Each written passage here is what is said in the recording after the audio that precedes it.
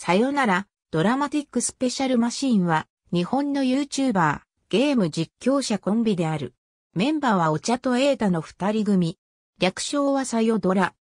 YouTube では、メインチャンネルのゲーム実況のほか、イベントの MC や、個人のチャンネルでのゲーム実況、ゲーム大会にも出場している。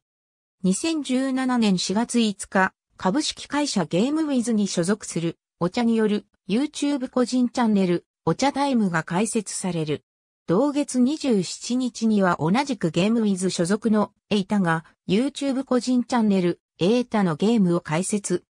お互いのチャンネルで交流をし始めるようになり、10月2日にさよならドラマティックスペシャルマシーンとして再始動した。チャンネル名はゲームウィズ時代の二人の同僚であるエリックがさよならドラマティックと書かれた T シャツを着用していたことから命名。当初お茶は108本の OS、エータはヒルズキングズというチャンネル名を提案していた。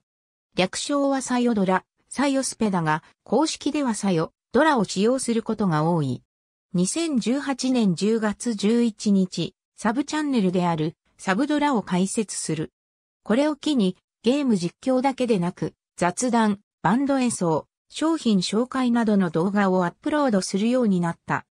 2019年9月22日に、エイタが同じくゲーム実況者のナシランと入籍。ありがとうございます。